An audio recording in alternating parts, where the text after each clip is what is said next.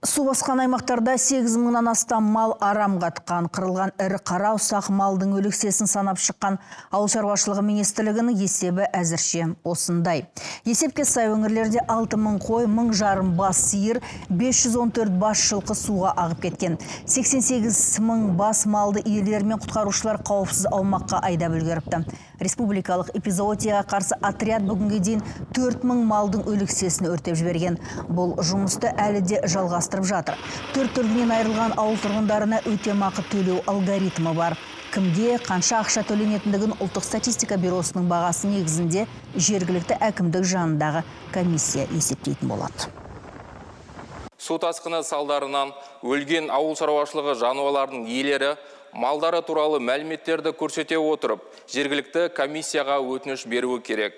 Ауыл шаруашылығы жануарларына меншік құқығы комиссиялардың актілерімен расталатын болады.